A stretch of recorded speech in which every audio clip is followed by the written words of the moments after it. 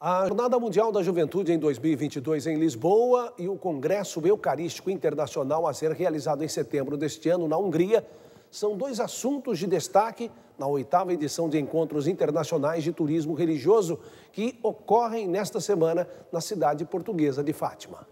A expectativa agora é para a divulgação do resultado do concurso do hino e logo da JMJ, que deverá ocorrer na Semana Santa. Apesar de eh, cada um ter feito melhor, agora foi necessário que o próprio dicastério e o comitê organizador local uh, fizessem algumas observações, quer ao logo, quer ao hino. Isto está a ser trabalhado, a identidade continua uh, escondida dos jovens respectivos. Porquê? Porque queremos que, primeiro defendê-los nesta fase, para que possam fazer esse trabalho de ultimar as suas propostas em paz, em sossego, sem stress. A juventude realmente está em foco no país.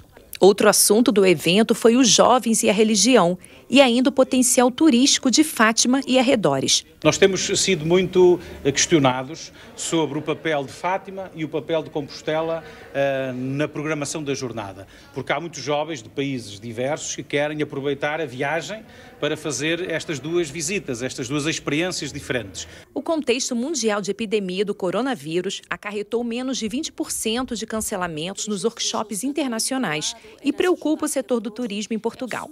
Contudo, isto não afetou a participação de representantes de 46 países de cinco continentes e a expectativa de fomentar o turismo religioso, sobretudo nas proximidades das peregrinações a Fátima no mês de maio.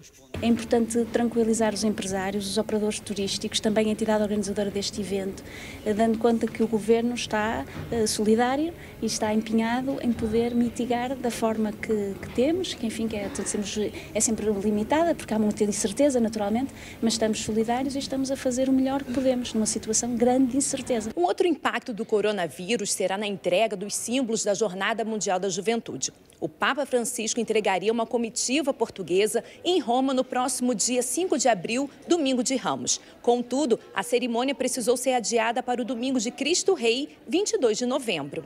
E de 13 a 20 de setembro, um outro evento de relevo vai movimentar o turismo do segmento. Em Budapeste, acontecerá a edição de número 52 do Congresso Eucarístico Internacional.